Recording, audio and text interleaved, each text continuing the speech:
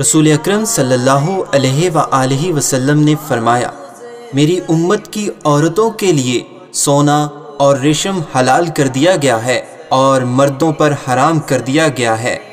तिरमसी